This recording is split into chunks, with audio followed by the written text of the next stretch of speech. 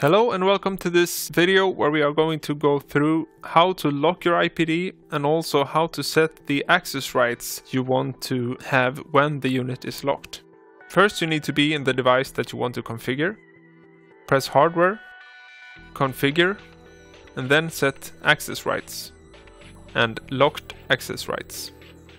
In here you can click these buttons if you want to enable these functionality when the unit is locked.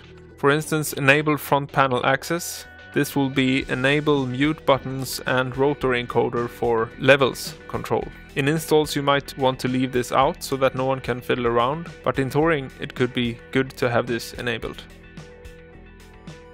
Now I want to also enter another password.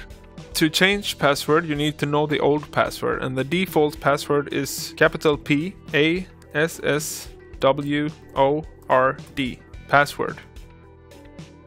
Now enter new password. 1234 1234 confirmed.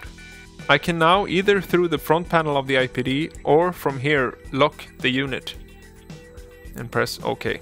It will now be impossible for me to make changes to anything in here since the unit is locked. And the same will be on the menu on the front panel of the IPD, but you will still have access to the mutes and rotor encoder for output level control, since we left that out in the access rights.